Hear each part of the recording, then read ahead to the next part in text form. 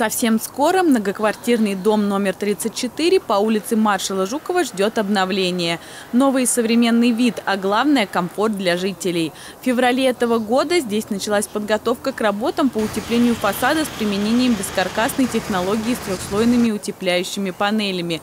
Депутат Мособлдумы, член фракции «Единая Россия» Дмитрий Голубков проверил ход капитального ремонта э, учетом той вентиляции, которая есть. Те каналы с тем сечением, потому что вот это естественный приток. На сегодняшний день такая система утепления фасада является самой действенной и направлена на повышение энергоэффективных свойств самого здания. Все работы проводятся в соответствии с графиком. Также парламентарий осмотрел и внешний вид подъездов.